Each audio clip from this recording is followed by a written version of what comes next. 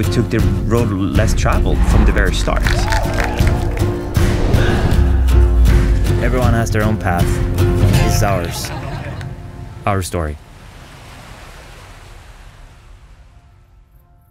I grew up in this little beach town in Sweden, and I always dreamt about learning how to surf. And um, when I was 20, it was finally time, and I went to Hawaii. The first time I ever met Peter was at uh, the Honolulu International Airport. He was as lost as me, actually, and our luggage.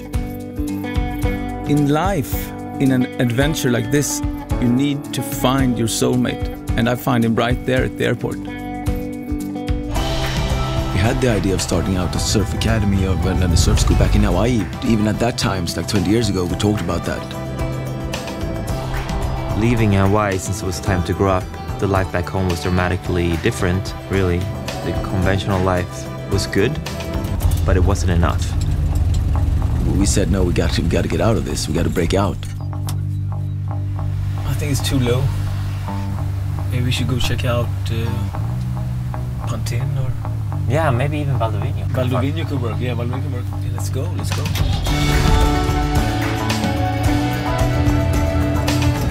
At Surf Academy, we've been probably teaching 10,000 Scandinavians how to surf, and it's extremely rare that, you know, people are not hooked.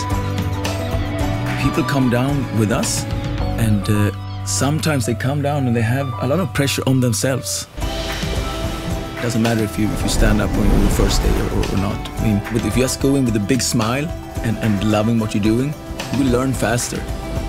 So you put away all that pressure and just say, go out and have fun, smile, and, and just enjoy the glide. It started off maybe as a lifestyle project, and now it's a life project, you know, and, and we're gonna grow old with this, and there's no expiry date.